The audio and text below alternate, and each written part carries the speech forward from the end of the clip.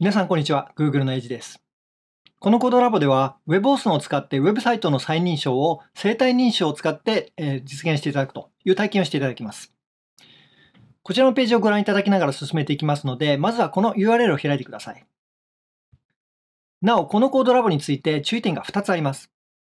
まず、本日作っていただくのは、あくまで WebOS のフロントエンド部分、ブラウザに関わる部分であって、サーバーについてはすでに完成しているものを使っていただくことになります。二つ目は、コードラボ中、生体認証ですとか、指紋認証という言葉が出てきますけれども、正確には、ユーザー認証機能付きプラットフォーム認証機というものを指しています。正確さを犠牲に分かりにくい説明になることを避けるため、こういった説明になりますけれども、えー、あらかじめご了承ください。さて、改めまして、今回のコードラボでは、WebOS を使ってウェブサイトの再認証を生体認証で実現する体験をしていただきます。現時点では FIDO2 を使って実現できる認証のユースケースは大きく2つあります。1つは2要素認証。これはユーザー名とパスワードに加えて FIDO に対応したセキュリティキーを2要素目 ,2 要素目として使うというものです。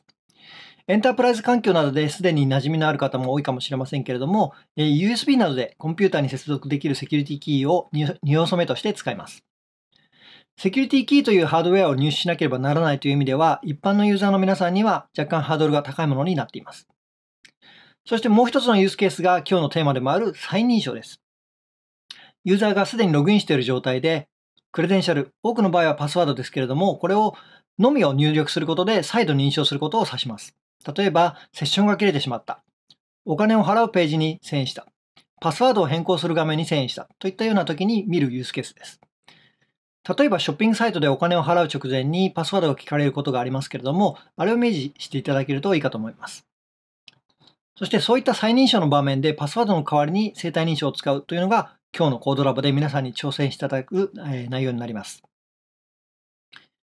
まずコードラボを開始した時点では生体認証なしのパスワードのみによる再認証が使える状態になっています。ユーザー名を入力し、パスワードを入力することでログインできます。このコードラボで取り扱う画面はこの3つだけです。その後、トライ利用すボタンを押すと、パスワードだけが聞かれて再認証することができます。このコードラボでは、まずは私が内容を解説し、その後皆さんが実際にコードを書くという作業を繰り返すことで、4つのステップに分け、生体認証を使った再認証を導入していきます。まず最初のステップでは、指紋を使用してクレデンシャルを登録するということで、デバイスの持っている生体認証機能、言い方を変えると、ユーザー認証機能付きプラットフォーム認証機を登録します。二つ目のステップでは、クレデンシャルを登録、取得、削除する UI を作るということで、ホームのパスでクレデンシャルを登録する機能を呼び出せるようにし、え簡単なクレデンシャルの管理機能を追加します。三つ目のステップでは、指紋でユーザーを認証するということで、逆に戻ってきたとき、つまり指紋などの生体認証を使って認証する機能を追加します。最後のステップでは、再認証を有効にするということで、利用数のパスで追加した認証機能を呼び出せるように UI を変更します。完成品をご覧いただきましょう。まずはユーザーネームとパスワードを入力してログインしていただきます。ここでパスワードが聞かれる理由ですが、FIDO では公開鍵ペアを認証機ごとに生成するため、別のデバイスに移った際には必ず生体認証以外の方法でログインする必要があります。将来的に FIDO によってパスワードが不要な世界が実現すると期待されていますけれども、え、今回のコードラボではパスワードを完全になくすこと自体はゴールではありませんので、え、ご了承ください。新しいクレデンシャルはログインした画面で Add a Credential ボタンを押すことで登録することができます。これによって以後このデバイスを使った生体認証が可能になります。トライ利用スボタンを押していただくと先ほどパスワードを入力した画面に戻ります。すると今度はパスワードを入力するフォームの代わりにオーセンティケートというボタンが表示されますので、これをタップすることで生体認証が起動されます。ここで無事認証できればログイン成功となります。本日のコードラボはグリッチというサービスを使って実装していきます。コードラボ2ページ目にリンクがありますので、これをクリックしてグリッチを開いてください。グリッチはブラウザだけで Node.js を使ったサーバーとフロントエンドのコードが書けるという大変便利なプラットフォームになっています。画面左上にあるメニューの Remix プロジェクトをクリックして自分用にフォークして作業を開始します。それではいよいよコードラボを開始していきます。まずは3ページ目を開いてください。まずはクレデンシャルを登録するためのレジスタークレデンシャル関数を作るところからスタートしましょう。関数のプレスフォルダーから作ります。この部分をコピーして、えグリッチの publicclient.js というファイルを開いて、todo の1の1の部分に、えコピペしていきます。残りの作業も同様にして、基本はコピペですべて完了しますけれども、その都度書いてある注意事項などをよく読んで何をしているか把握しながら進めていきましょう。続いてサーバーからチャレンジやオプションなどを取得します。デフォルトのオプションを指定して、あらかじめ用意されているサーバーのエンドポイントを送ることで、Public Key Credential Creation Options という WebAuthn の関数に渡せる形のレスポンスを受け取ります。このオブジェクトですが、超重要ポイントなので、えー、ここでちょっとだけ時間をかけて説明します。皆さんご存知の通り、FIDO は公開鍵ペアを認証機という専用のデバイスで生成、管理することができるという点が特徴になっています。認証機には大きく2つの分類があります。1つ目の分類はローミング認証機、もしくはプラットフォーム認証機です。ローミング認証機はいわゆるセキュリティキーと呼ばれるもので、デバイスとは別に持ち歩いたり、複数のデバイスをまたいで使うことができます。逆にプラットフォーム認証機はデバイスにあらかじめ備え付けられているものです。二つ目の分類は、ユーザーを認証する機能があるかないかです。プラットフォーム認証機は、ほとんどの場合、生体認証、指紋認証や顔認証などのユーザー認証機能を備えています。ローミング認証機の場合、最近、生体認証を備えたセキュリティキーも増えてきてはいるんですけれども、ほとんどのものにはついていません。ただ、見た目上、生体認証機能のないセキュリティキーでも、ピンを入力する形でユーザー認証機能を備えているケースもあり得ます。FIDO2 と明記されているセキュリティキーの場合、何らかのユーザー認証機能が利用できる可能性がありますので、説明書などを読んでみてください。さて、これらを踏まえると、2つのパラメータの指定方法がわかります。1つは、 authenticatorSelection の authen authenticatorAttachment で、これはプラットフォームもしくはクロスプラットフォームを指定することができます。プラットフォームであれば、プラットフォーム認証器。クロスプラットフォームであれば、ローミング認証器、もしくはセキュリティキーを指しています。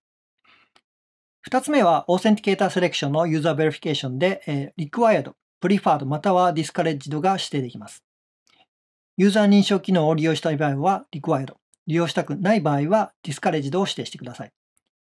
ここまででもうお分かりだと思いますけれども、えー、生体認証機能、つまりユーザー認証機能付きプラットフォーム認証器を使いたい場合は、 authenticatorAttachment をプラットフォームに、えー、プラットフォームに、 userVerification は required を指定しましょう。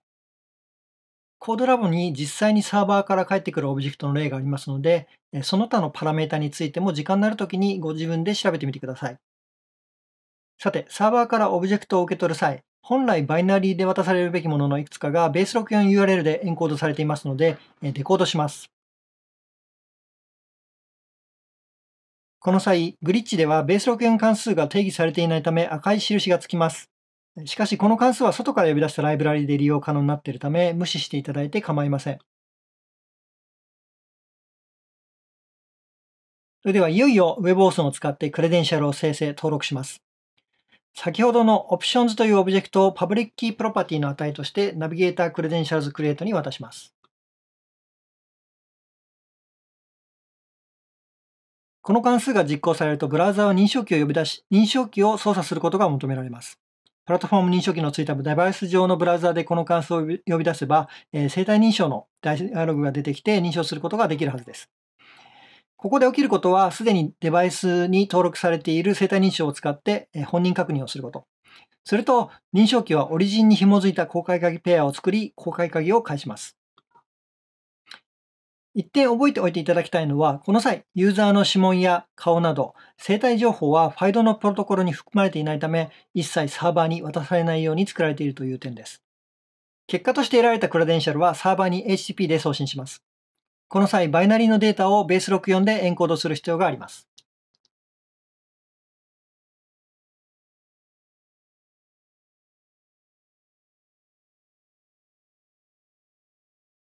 また、クレデンシャルの ID はローカルストレージに保存しておきましょう。これは認証時に利用します。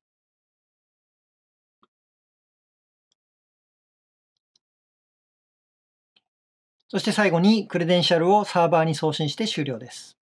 改めて、サーバー側の処理はこのコードラボの内容に含まれませんが、オープンソースのライブラリやソリューションを駆使して必ず検証を行ってください。それではいよいよ皆さんの番です。これまで説明した部分までの作業を開始してください。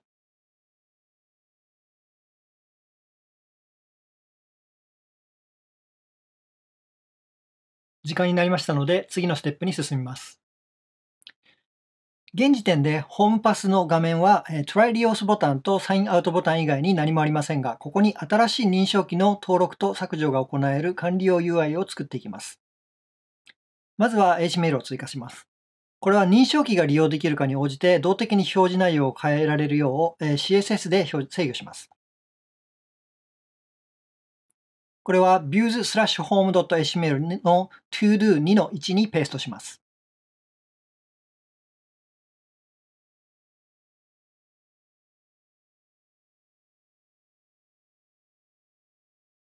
認証機が利用できるかどうかは2つの軸で調べます。1つは、ブラウザが WebAuthn をサポートしているかを Public Key Credential Object があるかどうかで調べる。もう1つは、Is User Verifying Platform Authenticator Available が True を返すかどうかで調べます。両方が使えれば、新しい認証機を追加するボタンを表示し、いずれかが使えなければワーニングを表示します。これは ToDo 2の2に追加します。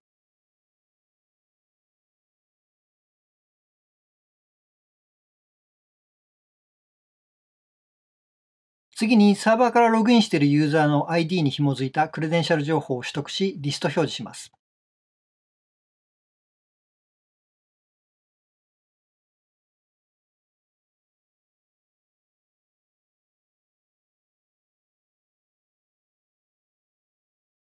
ホームを開いたらすぐに認証キー一覧が表示されるよう Get Credentials を呼び出しましょう。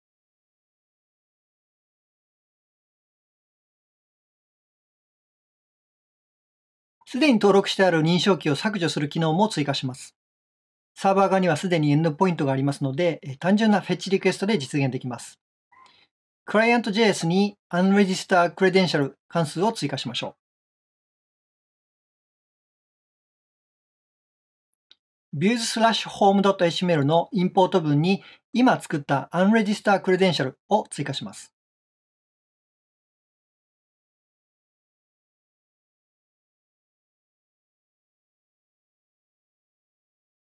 クレデンシャルのエントリーごとに表示されるリムーブボタンが押されたタイミングでクレデンシャル ID を指定して削除のリクエストを送り、成功したら一覧を再表示します。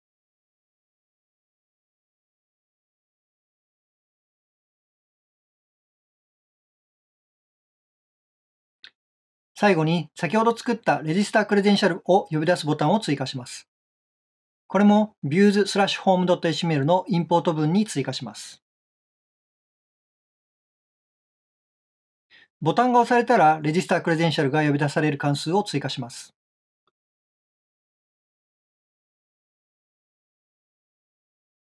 これで新しいクレデンシャルの登録、登録されたクレデンシャルの一覧表示、そして削除が可能になりました。この段階で新しいクレデンシャルの登録に関しては実際に動かして試すことができます。それではここまで説明した部分の作業を開始してください。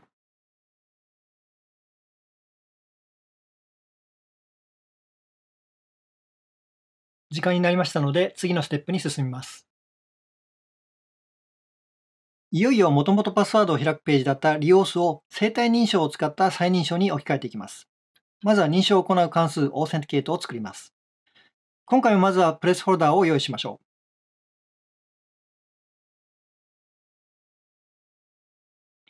先ほどローカルストレージにクレデンシャル ID を保存したことを覚えてますでしょうか？それを取得してサーバーにリクエストを送ります。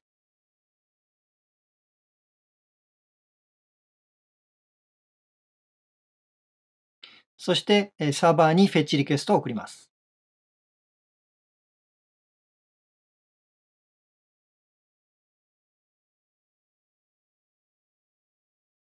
戻ってきたオブジェクトは Public Key Credential Request Options になっています。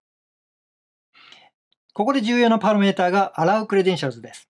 これはブラウザに対して受付可能な認証キーを指定するためのもので、例えばユーザーが3つのセキュリティキーを登録していたとしたら、登録時に取得したクレデンシャル ID をすべてこの配列に指定することで、どれを使っても認証できると示すことができます。しかし今回想定しているのは、デバイスに付属しているプラットフォーム認証機、ただ一つだけですので、それを指定してあげる必要があります。ローカルストレージにクレデンシャル ID を保存していたのは、サーバー側にデバイスを識別する方法がない。そのためにブラウザ上で保存して、それをそのまま使えるようにしたと。そういうわけです。 allowCredentials に何も入っていない状態で帰ってきた場合は、サーバー側に指定されたクレデンシャル ID と一致するクレデンシャルが見つからなかったということになりますので、 Promise を null で resolve して、パスワードでの認証にフォールバックさせます。WebAuthn には空の allowCredentials を渡すことでアカウントを選ぶダイアログを表示する機能もありますが、今回はスコープ外ですので割愛します。無事にオプションが取得できたら、登録時と同様にサーバーから受け取ったオプションのエンコードされているものをデコードします。認証は navigator.credentials.get を呼び出して行います。先ほどのオブジェクトを publicKey プロパティの値として渡してください。この関数が実行されると、登録時と同様、生体認証が起動されます。生体認証に成功すると、クレデンシャルが返ってきますので、これをエンコードした上でサーバーに送って、サーバー側でも認証を行います。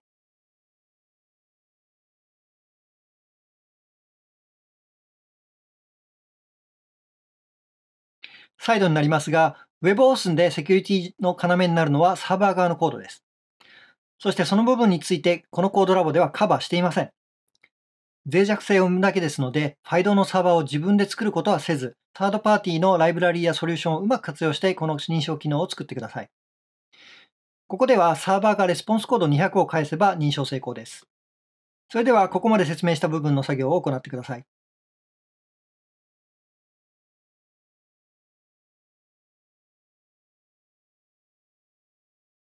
時間になりましたので、次のステップに進みます。最後に、利用数の画面で今作った authenticate を呼び出して生体認証を行う UI を追加していきます。生体認証、言い換えるとローカル認証はあくまで補助的なものであって、ローカル認証が使えない場合は別の方法にフォールバックできなければならないというところが重要なポイントと言えます。ここではパスワード認証にフォールバックできるようにしていきます。まずはこれまでパスワードフォームのみ表示していたページに生体認証を行う authenticate ボタンとフォールバックとなる Sign in with パスワードボタンを置きます。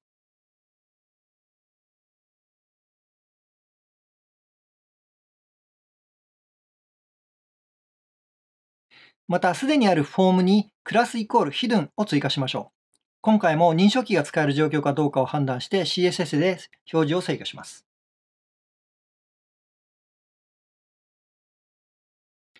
WebAuthn が使えて、プラットフォーム認証キーが使えて、かつクレデンシャル ID が保存されている場合のみ、オーセンティケートボタンを表示して、それ以外の場合は既存のパスワードフォームを表示します。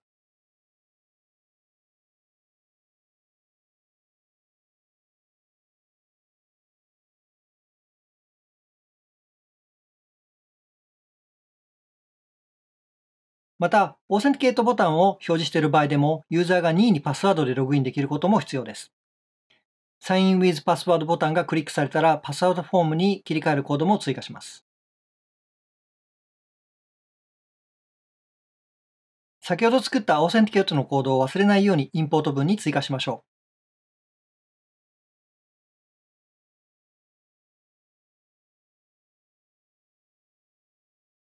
オーセ ticate ボタンが押されたら、 authenticate 関数を呼び出します。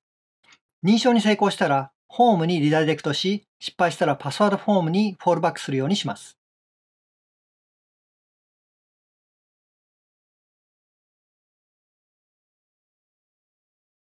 これが最後の作業になります。始めてください。